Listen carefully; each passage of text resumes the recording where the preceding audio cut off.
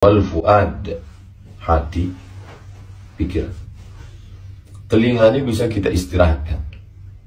Karena yang membuat kita letih ini telinga mendengar cakap orang.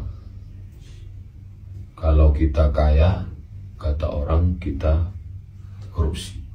Kalau kita miskin kata orang kita kena laknat. Hidup kita ini wah itu orang tuh orang terlaknat itu. Kalau kita sukses, orang hasad, cakapnya macam-macam. Jadi telinga ini membuat letih. Makanya banyak orang nggak mau dengar ngomong orang. Kok nggak mau acara walimah, acara nikah? Aduh, nggak usah lah Pak Ustaz. Sakit telinga saya dengar omongan orang. Dia membuat letih pertama di telinga. Yang kedua, wal mata. Mata ini juga membuat letih hindari mata Anda untuk tidak melihat layar monitor. Jaga jarak mata Anda karena mata membuat letih. Nengok orang mobil baru letih. Yang paling menyakitkan itu rupanya mobil orang itu pun bukan pula mobil dia. Nah, macam saya selama empat hari bersama tim UAS Kalimantan. Itu oh, orang yang nonton Hai Guys itu kalau mata hatinya nggak bersih kan sakit itu mata. Setiap nengok aduh rupanya mobil itu bukan pula punya Ustaz. Somad jadi mata ini buat letih. Khususnya ibu-ibu letih ya. pergi undangan nengok gelang orang letih. Nengok rumah orang letih. Yang kedua yang membuat letih hidup ini letih lelah capek.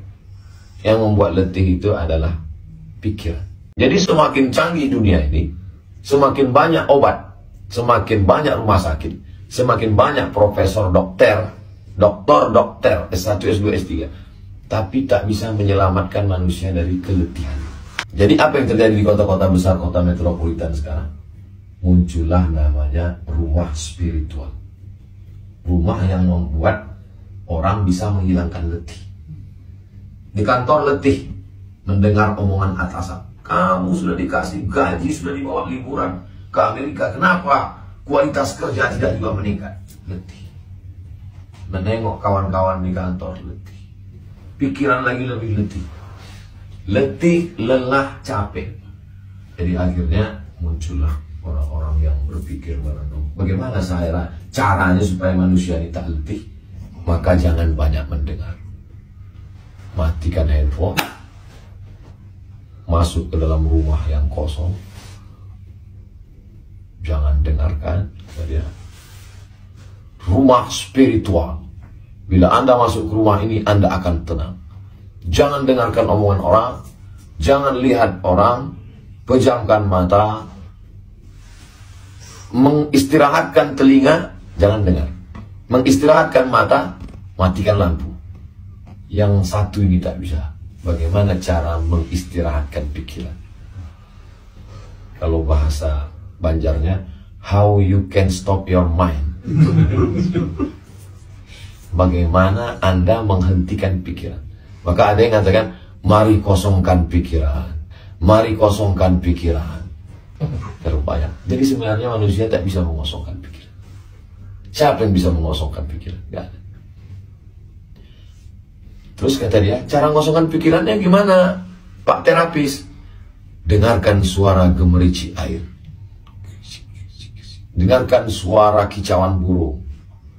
Jadi sebenarnya bukan mengosongkan pikiran, mengalihkan pikiran. Jadi kalimat dia sebetulnya salah. Pikiran kita ini lelah, kata dia. Karena memikirkan target-target ke depan. Jadi kalau gitu gimana?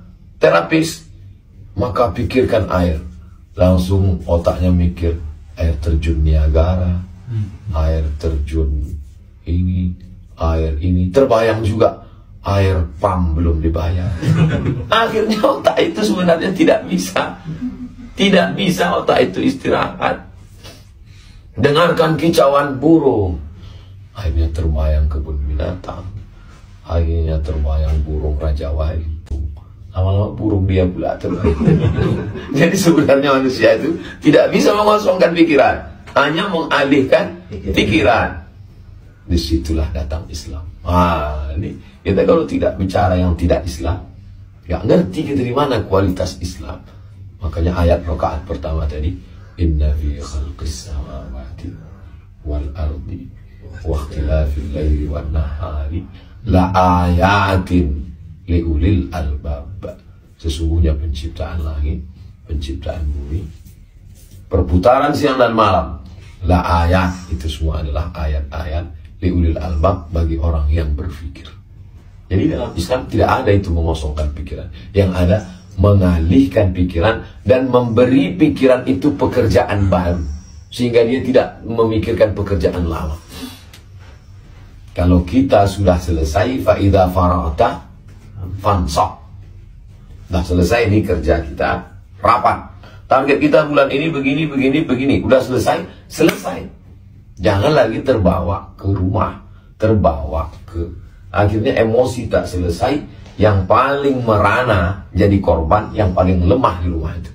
Siapa yang paling lemah di rumah itu? Istri. Istri itu yang babak belur. Mau ngamuk ke atasan nggak sanggup. Rupanya sama istri pun takut juga. sama anak, anak itu yang babak belur. Mau ngamuk sama anak pun tak berani. Kenapa? Anak ini kesayangan istri. Kalau dia diculik, bosnya ngamuk. Ke siapa? Ke pembantu. Pembantu yang babak belur. Oke, kasihan sekali pembantu kena setrika. Kenapa? Tuan rumah yang stres. Kena tempeleng, kena siap hari air panas. Ngamuk ke atas nggak sanggup. Ngamuk ke polisi, kena tilang di jalan nggak sanggup. Ngamuk ke istri nggak sanggup. Ngamuk ke anak pun ada bosnya. Ah, tetangga. Itulah yang habis belur. Dan pada akhirnya ketika dia tak sanggup ngamuk ke pembantunya, mau diamuk pembantu, pembantu lebih tegak. Mengamuk ke diri sendiri, itulah orang pakai narkoba. Orang pakai narkoba itu dia sedang mengamuk ke dirinya sendiri. Pakai pil anjing gila, pakai ganja, pakai sabu, pakai tak bisa berdamai dengan diri sendiri. Makanya Islam mengajarkan kita pikir dan zikir. Pikiran kita ini kita alihkan, kita kasih dia kerja baru. Apa kerja dia? bagaimana menyelesaikan kelas Nurul Azhar, bagaimana menyelesaikan asrama Nurul Azhar.